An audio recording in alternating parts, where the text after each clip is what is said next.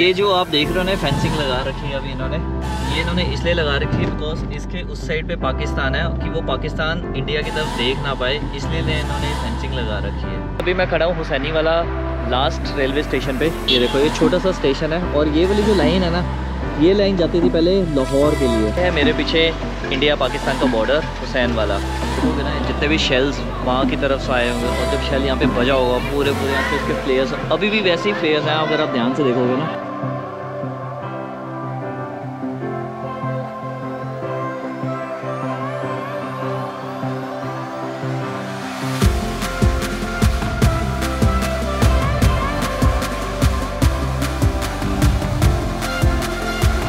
Right guys welcome back to my channel new vlog I hope कि आपको previous वाला blog अच्छा लगा होगा। गाइस अगर आपने प्रीवियस वाला ब्लॉग नहीं देखा है तो पहले वो जाकर देखो।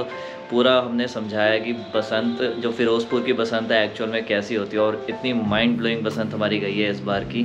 मतलब चंडीगढ़ में तो कोई इतना ज़्यादा क्रेज़ है नहीं है। बाकी बाकी सिटीज़ में भी इतनी ज़्यादा क्रेज़ नहीं है, जितना ज़्यादा क्रेज़ फिरोज़पुर के अगर ब्लॉग नहीं देखा तो पहले वो वाला जाकर देखो। Anyways guys welcome back to my channel hope you guys doing absolutely fit and fine आज का हमारा एजेंडा ये है कि आज पहले हम जाएँगे बॉर्डर पे। अभी हमने वही कॉल करके पूछा था कि वहाँ पे बॉर्डर में खुला परेड हो रही है कि नहीं हो रही? तो ये मिशन यही मिली हमको वहाँ से कि अभी तो परेड तो नहीं हो रही है। पुरानी रेलवे स्टेशन की एक लाइन है वहाँ पर।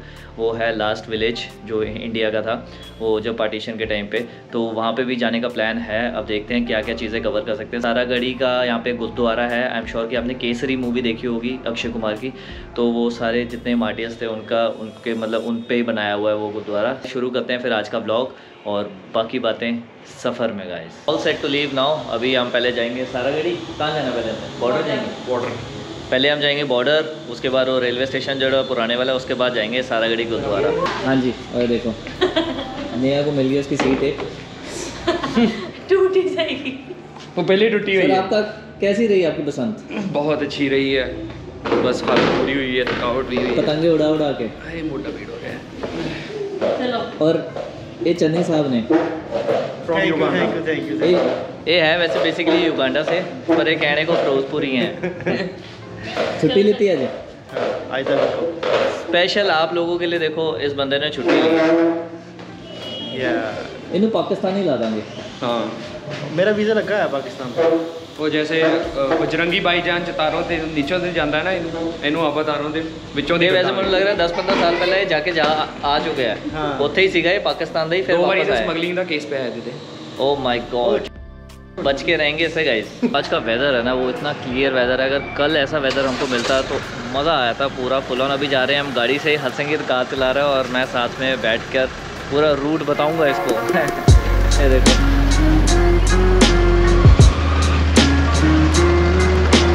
दो मिनट हुए नहीं बैठे हुए। और पट्टी जी को पहले वो गाने चाहिए उनको। म्यूज़िक भी तो होना चाहिए गाड़ी में। हाँ देखो। ये हर संगीत सिंह। एकदम गाड़ी। पूरी अगर आप देखो पूरी पग ऊपर तक हो रही है। ये इसीलिए होल निकाला है पगड़ी ऊपर को। ये इतने लंबे लंबे ना बस चलो ना अद्धा ही चलान गड्डी ऊपर को मुंडी ऊपर करके। आज तो शुक्र है कि मौसम खुला हुआ है। कैट वाला मौसम हो गया पूरा अच्छे से। कितना टाइम लगे हमको यहाँ से बॉर्डर तक? पंद्रह मिनट का रास्ता है यहाँ से इनके घर से बॉर्डर तक। पाकिस्तान यहाँ से लाहौर है एट किलोमीटर्स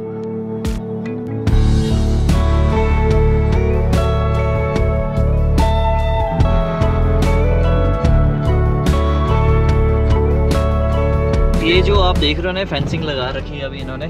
ये इन्होंने इसलिए लगा रखी है बिकॉज़ इसके उस साइड पे पाकिस्तान है कि वो पाकिस्तान इंडिया की तरफ़ देख ना पाए, इसलिए इन्होंने फेंसिंग लगा रखी है।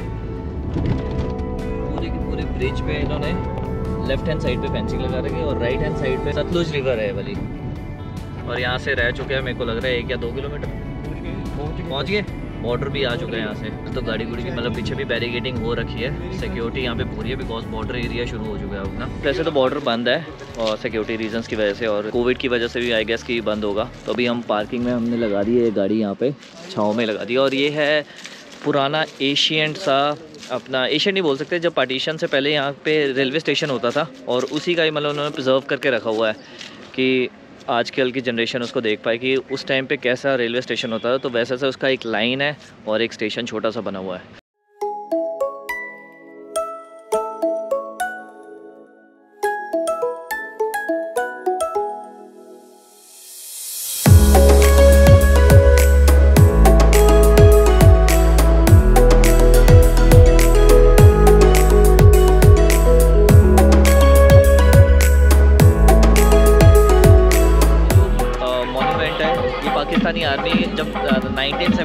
लड़ाई हुई थी, तब उन्होंने डिस्ट्रॉय कर दिया था और ये देखो इन्होंने पूरा एक वो बना रखा है, पूरा बताने के लिए।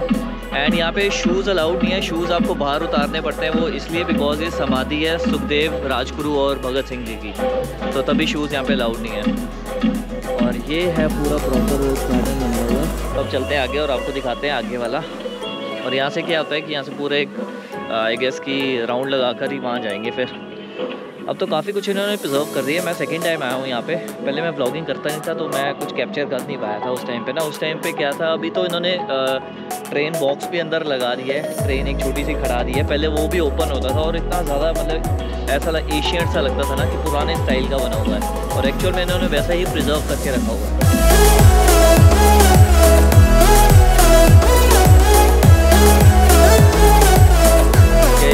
स्टैचू है, भगत सिंह राजगुरु और सुखदेव जी का, और ये इनके बारे में लिखा भी हुआ है।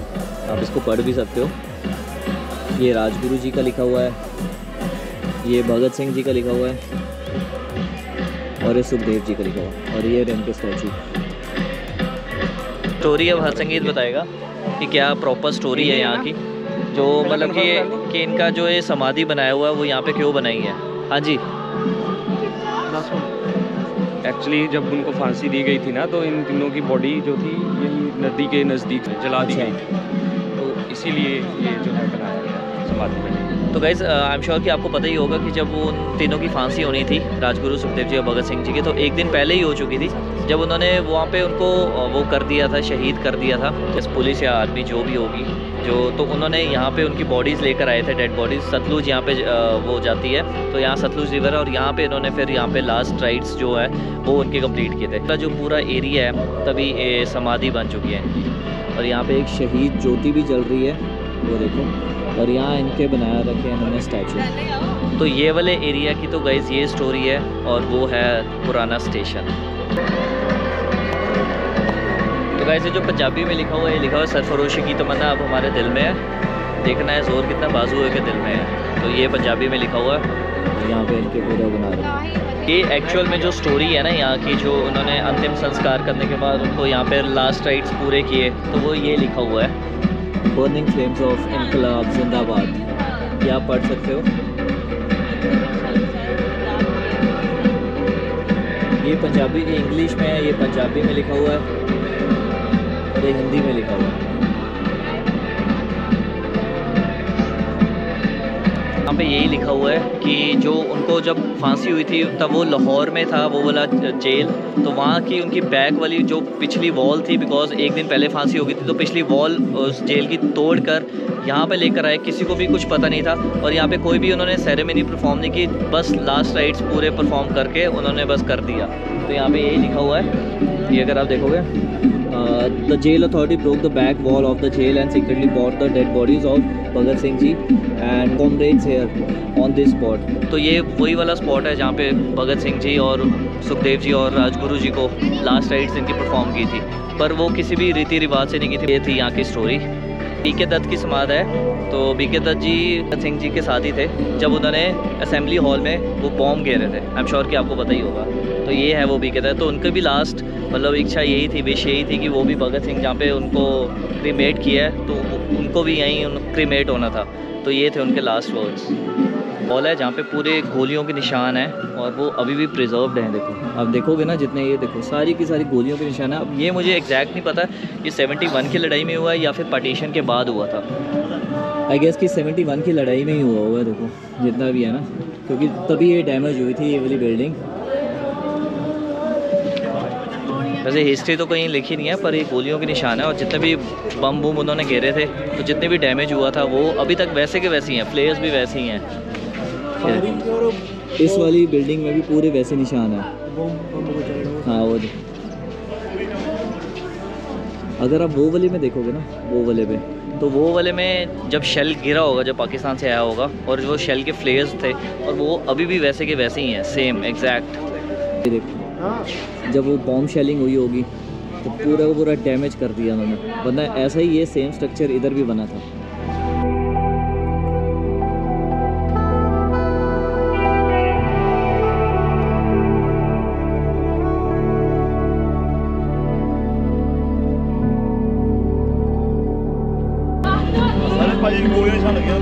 ये वाला है, वो लास्ट जो रेलवे स्टेशन आप बोल सकते हो।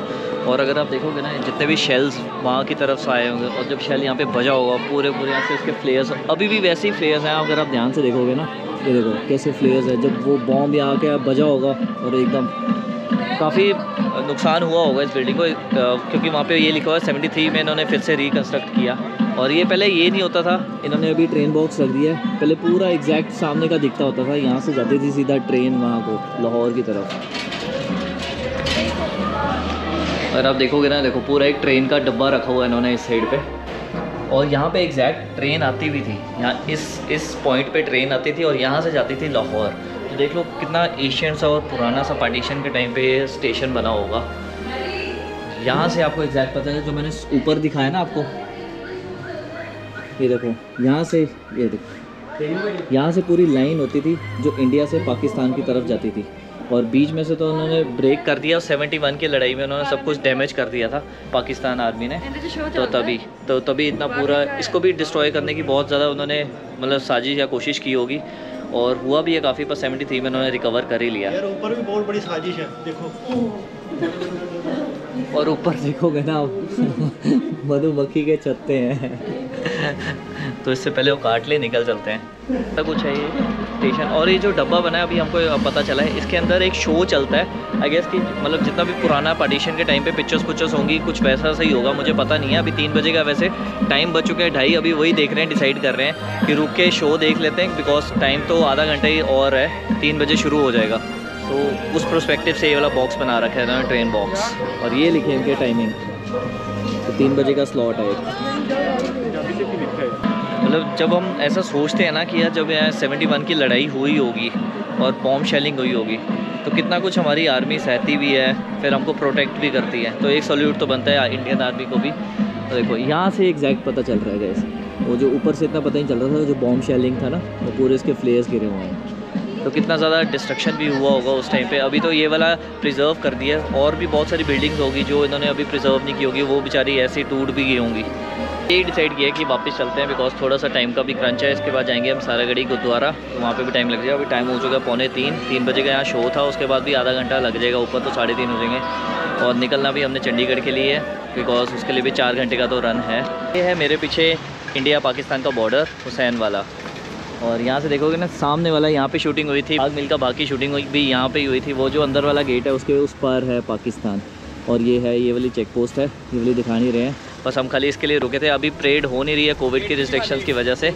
और इधर वाला इंडिया वाला है और उस साइड पे है पाकिस्तान का। यहाँ से दिख नहीं रहा है। इंडिया का फ्लैग तो दिख रहा है, पर पाकिस्तान का ही दिख रहा है। और यहाँ पे हमने गाड़ी लगाई थी। ये देखो, ये वाला रास्ता जाता है फिरोज़पुर के लिए आगे।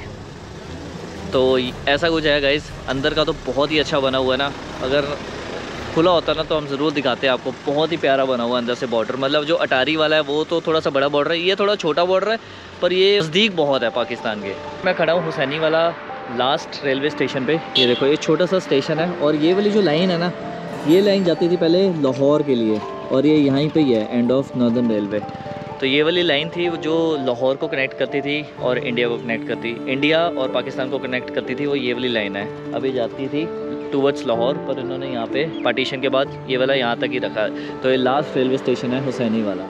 और इसके बाद सारा का सारा पाकिस्तान स्टार्ट है। वो वाला ब्रिज है, उसके उस साइड पे पूरी फेंसिंग है। वैसे तो उन्होंने पूरी बैरिकेडिंग लगा रखी है कि पाकिस्तान इधर झाँक ना सके इंडिया की तरफ़। सोच के कितना ऐसा लगता है ना कि सामने पाकिस्तान और इधर इंडिया अब चलते हैं सारा गाड़ी गुरुद्वारा।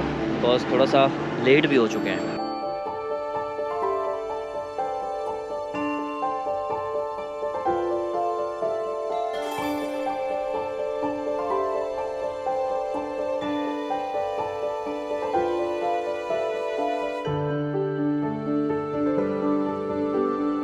हमने एक छोटा सा हॉल्ट लिया है लापिनो पिज़्ज़ा के लिए।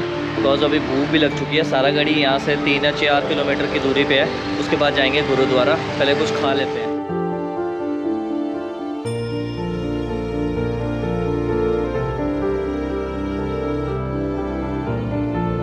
अभी जस्ट घर पहुँचे सारा गाड़ी एक्चुअली हमने कर दिया था कैंसिल बिकॉज़ थोड़ा टाइम का बहुत ज़्यादा शॉर्टेज हो गया था। मम्मी का भी दो तीन बार फ़ोन आ गया तो अभी मैंने वो कर दिया कैंसिल तो अभी लगेज उठाने आए यहाँ पे सारा का सारा सामान यहीं छोड़ कर गए थे अब यहाँ पे चलते हैं गाड़ी में रखता हूँ सामान फिर आपको मिलता हूँ गाड़ी में time to say bye bye इनको भी बाय बाय करने का टाइम आ गया बिकॉज अब निकलने लगे हैं सीधा डायरेक्ट चंडीगढ़ के लिए यहाँ से लग जाएंगे चार के घंटे लग जाएंगे वैसे तो पहले हमारा ये प्लान था चार बजे निकलेंगे और अभी टाइम हो चुका है पाँच बज चुके हैं एक घंटा लेट पहुंच जाना पहुंच जाना आराम ਨਾਲ आराम ਆਰਾਮ ਨਾਲ ਨਾਲ ਜਾਇਓ ਹੁਣ ਤੁਹਾਡੇ ਵਿਆਹ ਤੇ ਹੀ ਆਵਾਂਗੇ ਜ਼ਰੂਰ इसका ਵਿਆਹ है हाँ इसकी शादी है कुड़ी नहीं लभ रही है चलो ठीक है बस जो देख रहे हैं अभी कोई कुड़ी तो भी एड्रेस वगैरह दे दें हाँ। ताकि उसे जाके देख आइए मेनू ईमेल कर दो हाँ फ़ोटो भेज दो ईमेल आईडी डिस्क्रिप्शन में मिलेगी। चलो ठीक है गाइस आपको मिलता हूँ मैं रास्ते में।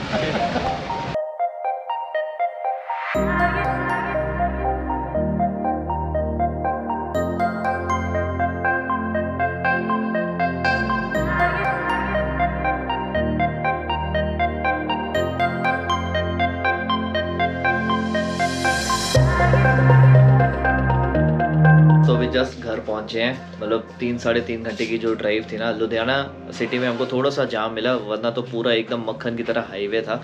एंड आई होप गाइस कि आपको कल वाला और आज वाला ब्लॉग अच्छा लगा होगा। आज तो हमने बहुत शॉर्ट एंड सिंपल सा ब्लॉग रखा है बिकॉज़ बॉर्डर बंद था तो उसका ऑल्टरनेट वो रेलवे स्टेशन था एंड सारा गाड़ी हम जा नहीं पाए बिकॉज़ टाइम का बहुत ज़्यादा क्रंच था। मेरे को यहाँ पे आठ, साढ़े आठ बजे तक चंडीगढ़ पहुँचना था बिकॉज़ कुछ काम था।